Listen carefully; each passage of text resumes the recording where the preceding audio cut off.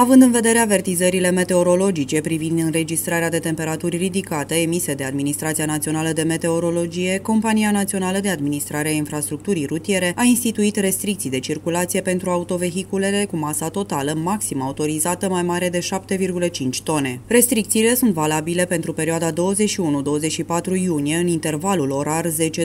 pe sectoarele de drum național, drumuri expres și autostrăzi din județele la care se aplică avertizarea de cod portocaliu, inclusiv în județul Hunedoara. Excepție fac vehiculele de transport persoane, funerare și poștale, transporturile de echipamente de prim ajutor, transportul pentru distribuire de carburanți, de mărfuri sub temperatură controlată pentru tractări de vehicule avariate, transporturile pentru distribuire de apă și hrană în zonele calamitate, transporturile cu vehicule specializate destinate prin construcție salubrizării, transporturile de apă îmbuteliată și băuturi răcoritoare, cele de produse provenite din exploatări agricole, dar și cele militare implicate implicate în exerciții multinaționale. Polițiștii rutieri hunedoreni recomandă tuturor șoferilor să manifeste prudență în condus, să respecte regulile rutiere, precum și recomandările autorităților pe timp de caniculă.